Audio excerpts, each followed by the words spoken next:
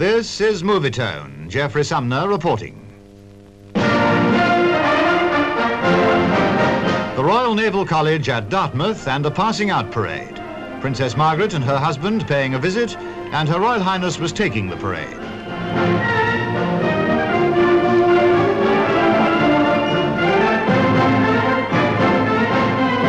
With Tony Armstrong Jones looking on, she presented the Sword of Honor to Midshipman Wallace. Then the march past.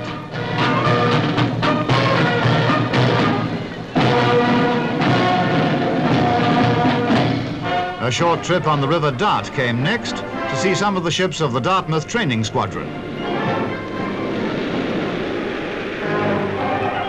Nearby at Sandgate was the new training ship for the Sea Rangers, a converted MTB.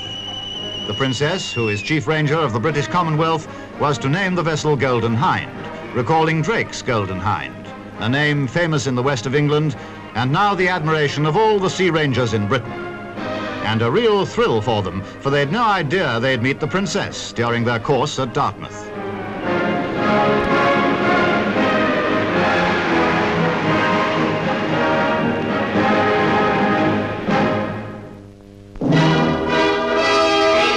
The crowds in Downing Street